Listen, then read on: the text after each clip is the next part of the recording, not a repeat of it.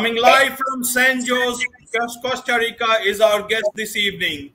Welcome to this very special edition of the KAJ Masterclass Live, the show which ensures that you profit from your time spent here with experts, either through their industry insights, information, or simply learning from them.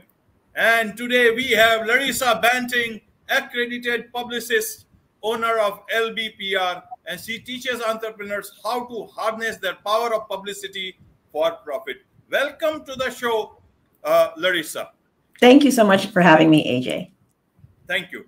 Thank you. Thank you for coming on to the show live from San Jose, Costa Rica. You are my first guest from Costa Rica, so this becomes uh, very special. There may be more, but this is a very special one. And we'll be talking about you know how to get get massive visibility without social media or ads and many things more.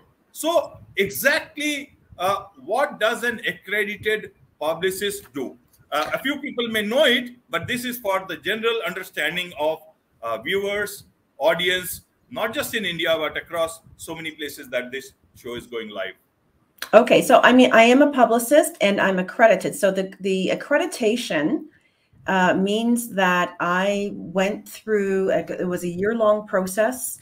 Um, there's the Canadian Public Relations Society. There's also the American Public Relations Society. So the accreditation is a professional standing. It means that you have met um, very stringent um, exams and case studies. And, you know, like I said, it was over the course of a year.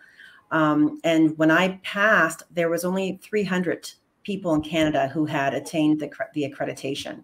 So it, it's it's um yeah it's a designation that not many publicists have, but it means that um, I've proven that I have a well-rounded understanding of how public relations works in in general beyond just getting publicity. Um, so right, yeah. right. Why I asked this question was that there is uh, a lot of understanding about accredited journalists, then accredited advertising agencies but in my side of this world, there is not much talk of about accredited publicists. Um, there may be, but then maybe I'm not aware of that. But I've not met uh, anyone who says that I've been I'm an accredited journalist. Though there are many forums, people are part of those forums, and they are doing great service uh, into this field. So, what does an accredited journalist uh, do? They get any benefit, or do they have to stick to more rules then a General publicist would have to. Now that you have shifted from Canada to Costa Rica, where you spend most of your time, does it help there, or does it? Uh, did it help you in Canada being an accredited journalist, or did you have to follow more rules? Well, I mean, as as a publicist, um, because here's the thing: like anybody, like I've seen, especially because of the the advent of the internet, and because I'm, I mean, I live in Costa Rica, but I, I work with clients literally all over the world. So that's the beauty of the internet. When I first moved here 20 years ago from Canada, uh, I had to shift and, and I had to pivot. I opened a different business because at the time, you still had to be like, I still had to be in Canada to be working in publicity, but it, the, the whole landscape has changed.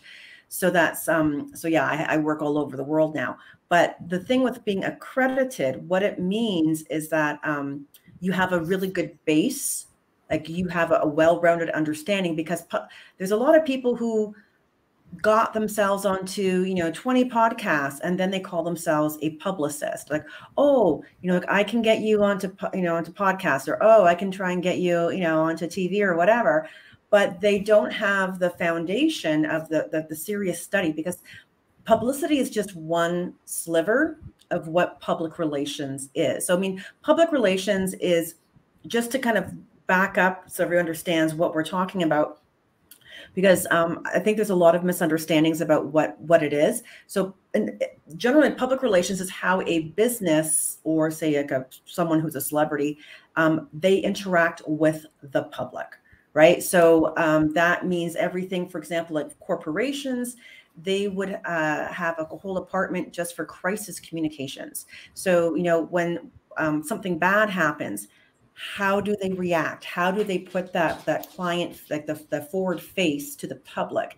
And so that's what the crisis communications department does. Because as you know, like Um, I mean, think back, and this is going back quite a few years, but uh, the Juan Val, um, the Exxon Valdez, I don't know if you remember, it was back in the 80s and it hit, it was like the biggest natural environmental disaster. And Exxon, it was like their tanker like ran aground in, in, in Alaska and just dumped like millions of barrels of oil into a nature reserve in the ocean. And it's in textbooks because how they reacted to it was abysmal. Like it was everything, literally a textbook, do not do this, right? Had they had a, a, a crisis communications team that knew what they were doing, it would have been a completely different um, situation. And, and what happened was because of that, Exxon's stocks plummeted, right? As did their, um, you know, their their public face like you know nobody wanted to touch them they became a toxic company so this is why it's so important that you even as a small business you know how do you deal with when something goes wrong because something will it's, it's you know it's, it's human nature it's life. Um, so there's that part of public relations. And then there is you know um, how do you get yourself how to get your business into the media? And that's what most people think of publicity. Now what i want to say is this is very important. Publicity is not paid advertising. A lot of the times we get publicity gets put under that umbrella of marketing, but you don't pay to be in the media. Now, if someone's saying to you, oh, hey, I'm going to get you into this newspaper, it's only going to cost you $2,000, that is not publicity. That is paid advertising. All right. So, right. Uh, publicity is where you have a neutral third party, say like you're for example yourself aj like i'm on your podcast right now and you haven't paid for me for it.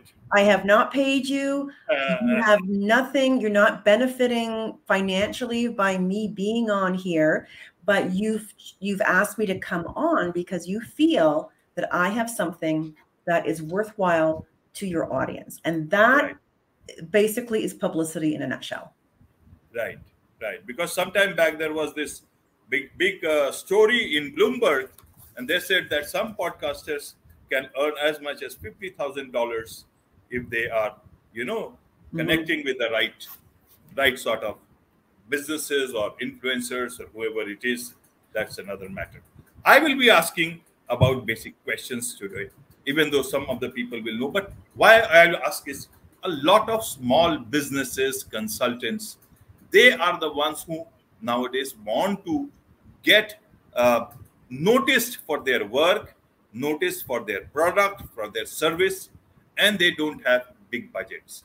They don't have big budgets like big companies, big brands, and neither they can have marketing tie-ups, not uh, with big media houses, or even if you can say they cannot hire big uh, agencies, if you if you let me use that word. Mm-hmm. So they have limited budget, but they have aspirations to go higher and to a wider audience. And publicity is a must. So the only ground that is left for them is social media and social media, then advertising and all, and a little bit of work here and there.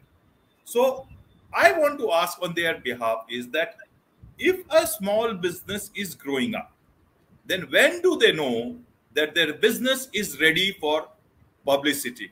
Because it's a confusion for so many of them. How do they know okay, now I should start for my publicity. Right. Well, here's the thing. I think a lot of people think that there's some sort of a yardstick. Oh, when I hit six figures, when I whatever. And the truth is, there is no yardstick. I always say to people if you, the moment you hang your shingle out and say, you know, I have this business and people are paying me for my experience and my expertise, you're ready for publicity right? In fact, very quickly, I'll tell you my story because publicity can grow your business in uh, create like crazy. When I first moved to Costa Rica, this was like back in 2002.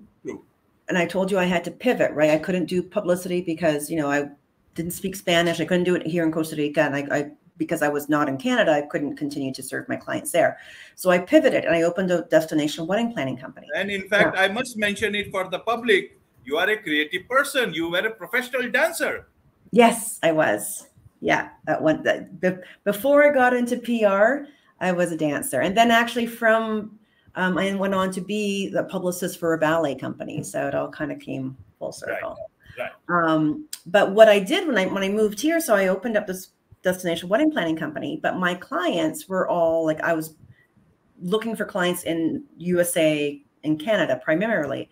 I didn't at that time there was no social media. Like think back 2002, we were still using fax machines, we still had dial-up internet. Facebook didn't exist. So you either um, spent a lot of money on magazine ads or you had publicity. Like that was that was the two things you did. So I, I actually hired a publicist in New York. She was just starting her own agency, but she knew travel and she knew weddings. And those, I mean, as a publicist, those were not my areas of expertise at all. So I hired her. And because of working with her, she, you know, we got into all these different wedding magazines. Our, our weddings got featured. I did a whole press junket up in New York City, got interviewed in a bunch of, you know, New York, like uh, Martha Stewart Living Radio, et cetera, and met the editors of all the magazines. So what happened was the next year, um, Destination Weddings and Honeymoons magazine created this thing called the A list. It was, and they named 30 wedding planners, they said were the top 30 in the world for destination weddings. And I was one of the 30. Now, do I really think I was one of the top 30 in the world, AJ? Probably of not. Of course, of course. I mean, you don't even have to ask me that question. Well, but you know, but the thing was, it was why was I on that list? It was the perception because the people that put this list together from the magazine saw my work. They saw me, they saw my company in all of these like modern bride, what Martha Stewart weddings, they saw me everywhere. So the perception was, oh, wow, this person is in all these wedding outlets. They must be really good. We're going to put them on our list. Right. Because of that, our fourth, that was our third year of business. Our fourth year of business, we hit seven figures because we were in all these magazines that that gave us incredible visibility, much more than I could ever afford to pay for. Second of all, and this is the crucial part about publicity, it gave me the um, authority and the credibility. Now, you know, no one will buy unless they like, know, and trust you enough to part with their money. So, how do you know? Especially now, like everybody, you know, that's the thing with an ad. I can put an ad and say, I'm the I'm the best thing since sliced bread. But if someone's like watching, you know, you, AJ, and they say, oh, and you're going, hey, well, like this is a Larissa's an expert in publicity, all of a sudden now my credibility is way higher. In fact, it's been studied, the studies show 10 times higher in credibility factor than an ad because again, you are a neutral third party. You have nothing to gain by promoting me. And so that's editorial factor about about being in the media. Right. And that's editorial, not advertorial or advertisement. Exactly. Exactly. So this is where, and the thing is, you can get started. It doesn't matter if you're just your first year in business or whatever, you all have a story to tell. And like, think about publicity, like, like I always say baseball, right? Um, you know, you've got your, your little league, then you've got your minor league, and then you have the major league. Now, like major league is like the Forbes and the Entrepreneur Magazine. Your first time up to bat, you're not going to go into the major leagues. You're not going to expect to be in Forbes, your first like media outlet. But there's all of these smaller publications and podcasts and whatnot, and they're perfect for you. In fact, these small niche outlets are are actually better for for um, attracting customers than say being in Forbes. The reason why, because those are micro niched. Those are the people who are really interested in what you do. For I'll give you an example. We have a client and she built a multi six figure business teaching women how to re, uh, reupholster old chairs. Now, that's a very specific niche, but we got her onto this podcast called um, Thrift Diving, and it's a podcast ex- for people who like to go and go thrift, you know, to thrift stores or secondhand stores, garage sales, find things and then repurpose them into a new work of, of art, right? Perfect audience. These are the people that are exactly who she wants to get in front of. So she got in front of them within a week of that podcast going live. She had a thousand new subscribers on her email list. And when the doors opened to her course being sold two weeks later, she sold 34 just from that list. And then the, obviously she sold more in the interim. But meanwhile, we got her into a story on Forbes, which was fantastic for her visibility, but she didn't get a thousand subscribers from it. Why? Because Forbes has a much broader audience, right? It's like imagine going and fishing in the ocean. That's Forbes. Imagine going and fishing in a small pond filled with um, salmon, right? And you're a salmon fisher. Well, you're going to go to a pond with salmon fishing. So th- that's right. the thing. So don't discount smaller outlets because they're not a major player. You need to have a balance of both, but those smaller outlets is where you're going to really attract the people with them with the, the clients you want who are going to want to spend money with you.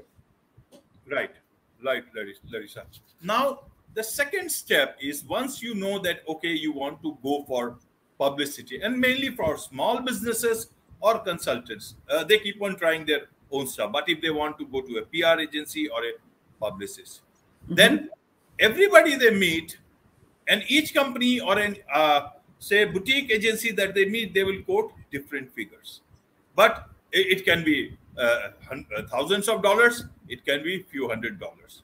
How does a person decide what should be their budget? Should they start from asking an agency how will you how much will you charge, or should they just decide about their budget and then go with that and talk to agencies or individuals who are fitting that particular budget and go with what expectations? How should they know where they want to. They know where they want to go. They want to be published in Forbes. They want to get on CNBC. They want to go and get on CNN and everywhere. But about realistic expectations, how should they go about it?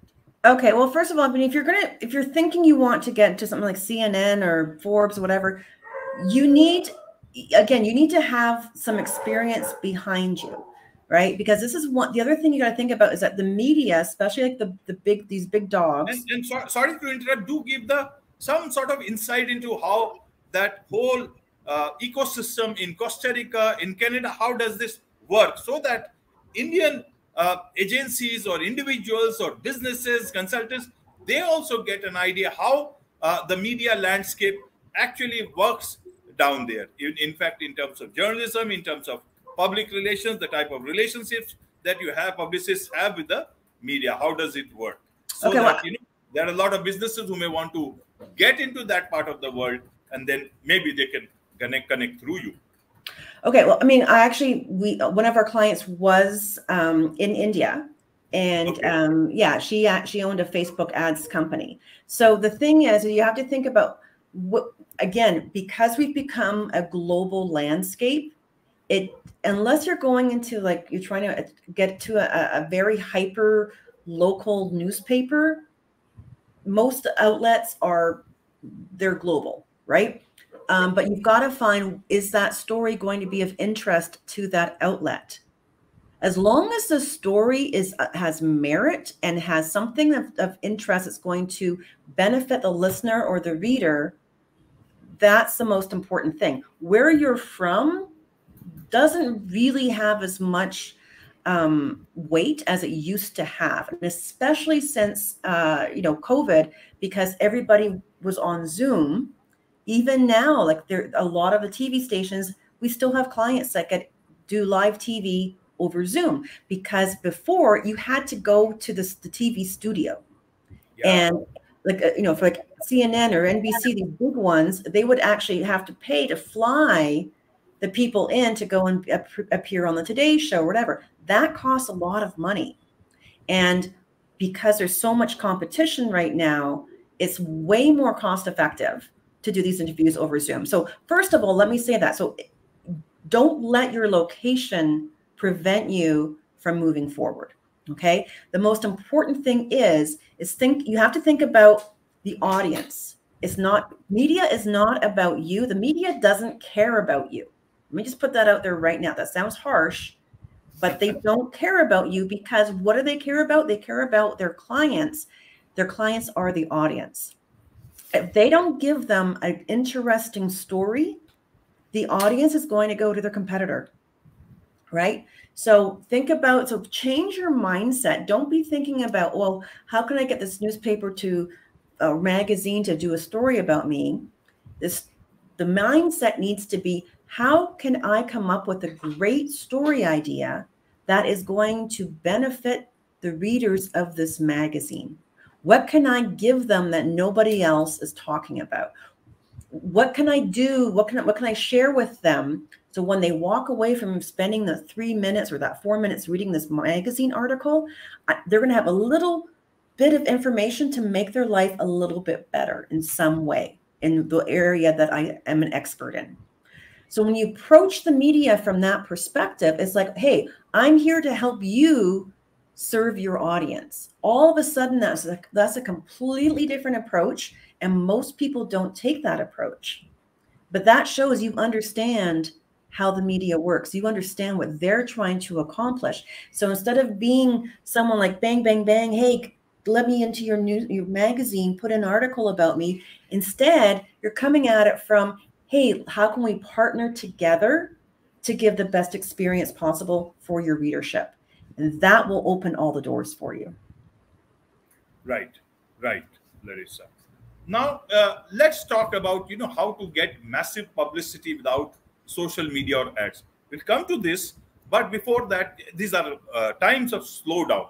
Uh, global economies uh, is facing its own challenges, and that's where publicity uh, can help businesses mm-hmm. a lot more. Especially, you know, a lot of small businesses are online, so right. that can help them uh, during these times. And you talk of three things that one can do to supercharge their authority and visibility. What are those th- three things? If you can spell them out for the audience, that this is what they can do, at least for a start.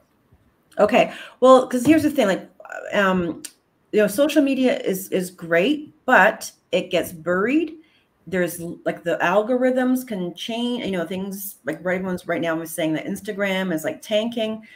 The thing about publicity is that once when it's out there it is out there forever. Like people can google you and it'll come up right? So it right. doesn't disappear.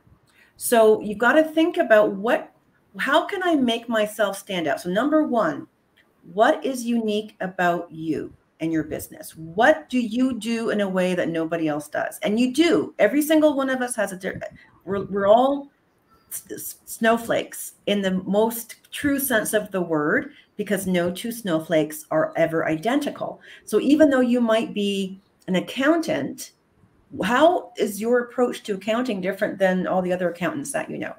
Right? There is something that you do nobody else does the same way. Lean into that. All right. So maybe you have like a special system, maybe you have a different approach. Figure out what that is and really refine the messaging around that so that people can easily understand what makes you stand out. Okay, so that's number one. Number two, um, understand what what where are your ideal clients hanging out? What do they read? What do they watch? What do they listen to? You can even, if you don't know, do a poll on, on YouTube, sorry, on, on Facebook, right? Like, hey, what's your favorite um, what's your i'm looking to for new podcasts. What's your favorite podcast about accounting or about business okay. right? And they'll tell you like they will literally tell you here's what we're listening to. Okay there's where you want to go and get in front of. Again all right because again everybody wants to be in forbes which is great but that's fishing in the ocean go fish in the pond where your clients the where the pond where your clients are. Don't go fishing right. in a pond where they're not okay? So that's number two. You've got to figure out where are they at. And then number three is what can you come up with that's going to make help them? So maybe again you maybe you're an accountant. All right so maybe you have like here's three simple steps that you can use you can you can implement this week right because again think about um, if you wanted to, you're a weight loss coach. What article are people going to want to read? Here's how to lose 10, uh, 20 pounds in this year, or here's how you can lose five pounds this week. People want the as the article like five pounds in a week. Okay, boom, this is instantaneous. I can do this. Whereas a year it seems like forever. So maybe if you're an accountant, it's like here's three steps you can take. Uh, you can use like this week to lower your taxes for the next tax year, right? Give them something that's an immediate gratification that they can use because uh, again, you're this is a long this is the marathon. You're not running a sprint with publicity. What you want to do is you want to give them something they can go and they they implement and they're like, "Oh my gosh, that worked. I want to go back for more." Okay? So start thinking about it this way. You're laying the groundwork, the foundation so that pe- for the sales. Publicity, publicity is not about getting the sale. Publicity is about supporting the mechanisms that you're going to use to get the sale. That means getting people to like you, to know you, to trust you enough to say yes when it comes time to ask for the, the dollar, okay? Or the rupee, whatever it is. So that's the three things. What's your, what makes you unique, right? So you, you want to build on that expertise, get in front of your, your ideal clients where they are, and then give them something that they can take and implement to see a, some sort of doesn't have to be a massive change. We're talking like not the hair on fire problem. We're talking like how do they get that little stone out of their shoe? And that's right. going to lead them to the hair on fire problem, like with you. Okay. So right. does, that, does that make sense? Like, yes, yes, it does. It does. And, and how can people who have no money, no budget, and they don't want, want to use social any budget, how they still get massive publicity? Will these three methods work? Uh, yeah. If they do about how and how, what uh, are there any other things that they can do for themselves? Absolutely. Okay, so they reach a level that they can actually pay to a media agency. Yeah. So this is the thing. Like um, you were asking about like the, the pricing of of agencies. Generally, you, anywhere from three to ten thousand dollars a month and it's usually ten thousand dollars a month. Here, what you're going to pay. If, if, you that that's around quite a bit of money, more than two lakh Indian rupees to anywhere between six to seven lakh Indian rupees. That's only top brands, top clients pay. Only few clients will be there who will be paying more money than that. So that's a good amount of money. I guess Indian Indian agency should get money in dollars uh, uh, while working in, in India, India. That would make them happy. But yeah. that's that's that's that's as I said, this is as per different regions, different uh, things. In India, right. it had its own way of pricing. Right. So, but I mean, a lot of people, a lot of small business owners, you're not going to be ready to hire a publicity agency, right? Right off out of the gate, but you can still. I mean, thirty minutes a day. You, if you just like again, like you, this is a muscle and it's it's the marathon. So don't expect like, oh, I went and I pitched a newspaper or I pitched this magazine, they haven't answered me. This doesn't work. It's a numbers game. Even as with all the experience that I have, I mean, I've been doing this for almost 30 years. I'm a credit. I'm one of the few hundred that are accredited. I was I was a journalist. I still, I mean, the the top publicists have maybe a 15% um, hit rate so that means out of 100 pitches that we'll put out, 15 will get a yes. Okay? And it doesn't mean that you're not good at doing publicity. It means it's it's it's all timing. Right? You might have a great story, but maybe that outlet just ran something similar or maybe they're not their their next um, two publications have already got a different theme. Um, you know, maybe they already have all their, their stories spoken for. One of my, I have two friends who are writers for Forbes. They have four con, four stories under contract per month. They get 1,500 pitches per month for four stories. All right. So th this is the thing. Like you've got to like keep going. Like don't get discouraged. Um, a free again publicity is free like you're paying a publicist for their time and their expertise but you you can go and do the same thing on your own just like you you know you could pay someone to, to change the oil in your car or you could do it yourself it's going to take longer it's going to be messier but you can still do it yourself same thing with publicity right um, i'll give you a, a tool you can use that is free it is called haro H A R O. Help stands for help a reporter out. When you're getting started, this is probably the best um, the best tool that you can use, and it, and it is free. So what you do is is basically public like um writers are looking for experts to quote in their out in their stories. So this is a way of matching. The writers will put their query in, like, "Hey, I'm looking for, um, you know, uh, an accountant who can who can help me to explain to me, you know, what are the tax implications of blah blah blah." I'm just making this up, right? But they have all everything from medical to sports to travel to everything under the sun. There is always there's always it comes out three times a day, Monday through Friday. Um, it's based on New York time, uh, but they have over usually about 150 queries per email. That means that there's over 450 queries per day. Right. So um, and there's a good chance you might find something that works for you. So what I all you do is as soon as it comes into your in your inbox, stop, take a look. Is there something that uh, pertains to you? If not, let it go. It'll be it's like a train. There's another one coming down the track. If there is something that works for your expertise, go and send in answer the question give them the best information you possibly can. And I always say, give them something that you would charge a thousand dollars for. Don't give them the free tip that everybody knows. They want the, the juicy, only you would know this because you're an expert. You've been doing this for so long. And that is how you can get into major publications. I had one of my one of my students, because I have a small course where I teach this, her first time doing this, she got into business.com um, one of my other students, she in her first week, she put out five, she answered five queries. She got into three outlets, including one. She was in the States, she got into an, outlet in Australia. So this is, I mean, we're talking like Forbes, entrepreneur, like, you know, the CNN news, like there's some really heavy hitters that use Haro. So if you are going to do nothing else to get started with publicity, at least try and use Haro. There's also another one called Qwoted, uh, Q W O T E D. Okay, it works quoted. the same quoted. Yeah, it works the yeah. same way as as um.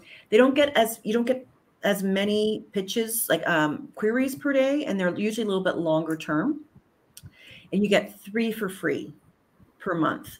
But but with Haro, it's free. Like you just sign up and you're going to get those 400 500 queries every single day so right. that's right. that's the best possible. I mean, all of us as professional publicists, we still use Haro and Qwoted on top of right, Larissa. Right, right. So we talked a lot about free stuff, and you are running a business, so we must talk about business at the end. If everything can be free, then how will the business? That's right. And that's that's where which is very important for a lot of people who are running their businesses. So let's talk about LBPR what does LBPR do? What is the type of clients you focus on, or is it that you have got like people from different uh, different sectors can approach? How does it work? Yeah, so we have our our um, our agency is bespoke, so we're doing all like you know we don't we, do our research, we see like who are who are our clients' ideal target. We come up with um, really specific uh, story ideas that we pitch out to the media and follow up. Um, we work with entrepreneurs. So uh, generally, we're looking for entrepreneurs who are making, you know, minimum half a million dollars a year and up. So people who are a little more established, because again, you know, you're not going to start paying for a PR agency until you've got some money uh, coming in on a regular basis and you can afford it, right? Um, we also have uh, because I really believe in helping entre entrepreneurs get started in small businesses, we do have um, a number of offers for done like do it yourself. So our, we have our done for you agency, but then I have all of these courses that start, you know, our, our uh, one on podcasting and the other on pitching starts at $27. So we try to make it really affordable for, for people to give them the tools and the training so they can get started with the idea of eventually then they can come to us when they're ready. Right. And how do uh, people connect with you, with uh, with you, as well as your business if they need to do business with you? How does it work? Really simple. Um, LarissaBanting.com. I'm the only Larissa Banting in the world. Very small family, and Larissa is not a very co- common name. So if you go to larissabanting.com, um, we have links to everything, all of our offers. Uh, our, our um, we actually have a even a free um, media calendar to get you going. Uh, if you want more information about working with us through our agency, it's there, and we also have the links to our twenty-seven dollar podcasting um, get you started kit. Right, right, Larissa. So my my last question uh, is to understand is that there is PR agencies now. A lot of people know about it now. A new term has come is podcast agencies.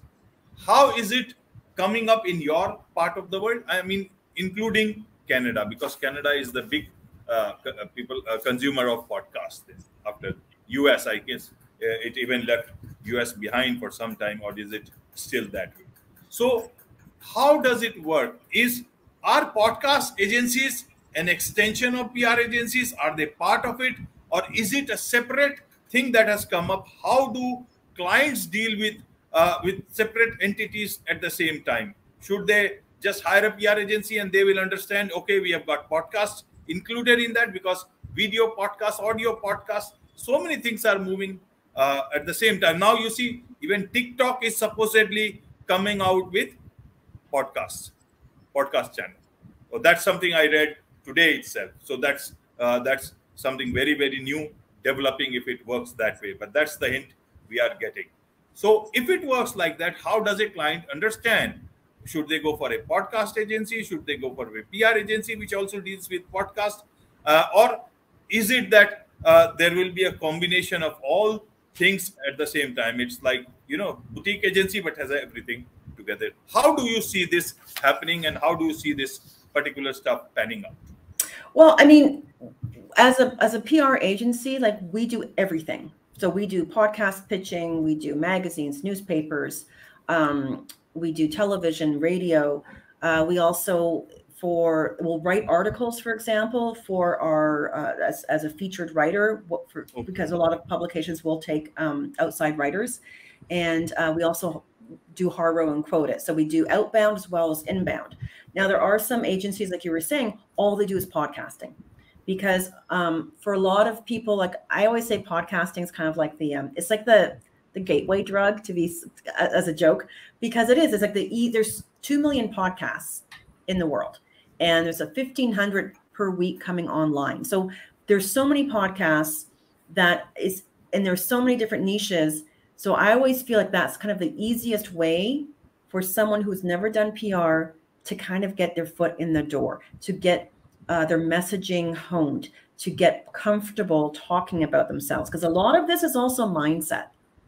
A lot of people feel like oh i can't do pr because i don't want to brag no one wants to hear about me bragging mm-hmm. about myself. And that's the furthest thing from the truth. So there's a lot of a mindset because, you know, I don't know about you, but when I, growing up, we're always taught, especially for women, oh, don't draw attention to yourself. Don't brag about yourself. No one wants to hear you go on. Don't don't talk about yourself. And then you get PR and it's like, talk about yourself, brag about what you've done. So there, there has to be a bit of a mind shift, um, mindset shift. So, but that's the thing. So we say like public if you're going to do nothing else start with podcasting because you're going to have the easiest way. And then once you feel like you've got your, your your feet wet and you're confident about your messaging because when you go into television for example television you only have three minutes and you have to have your messaging down pat. You have to be able to look at the camera. You have to be very comfortable and we normally don't throw anyone into, into TV until they've gone through a lot number of podcasts and other media interviews so that they have their messaging totally buttoned up.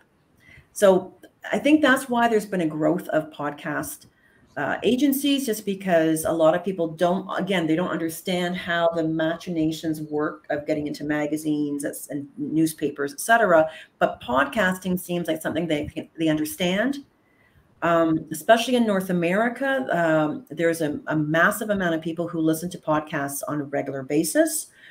So there's a hunger for that. There's a need for that.